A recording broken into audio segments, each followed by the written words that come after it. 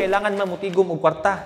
Di man na madala sa langit. Three reasons why we need to save money, ladies and gentlemen. First is what we call emergency. Save ka ng pera for hospitalization, medications, uncertainties. Let's say, for example, mawalan ka ng trabaho. That's an uncertainty. What happened to the pandemic? A lot of people lost their jobs and they did not even expect na mawalan sila ng trabaho just one time. Nobody expected the pandemic to happen, but it happened. But we all have to adjust. If, even if you lost your job, your expenses will always be there.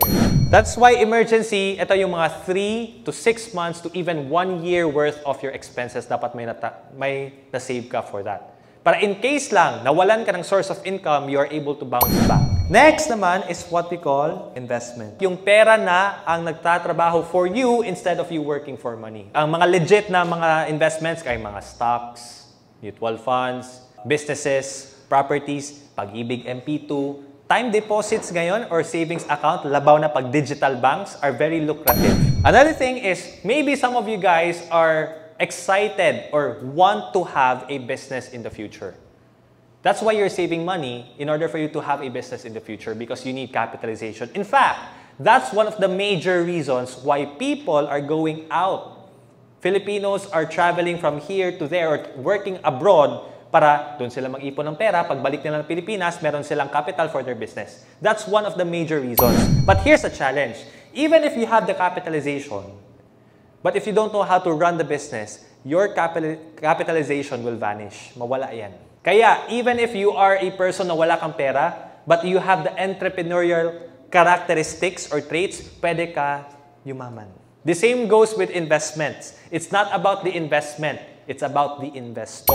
Kung magaling ka na investor, you're going to generate money.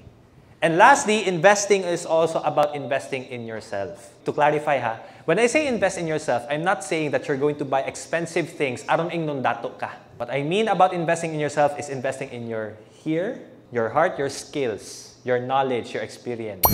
Because those things will give you dividends.